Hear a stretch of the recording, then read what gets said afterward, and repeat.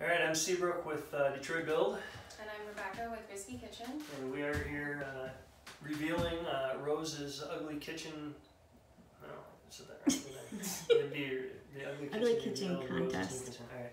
So hey, I'm uh, I'm Seabrook with Detroit Build, And I'm Rebecca with Whiskey Kitchen. and we are here with our ugly kitchen winner. Ugly kitchen contest.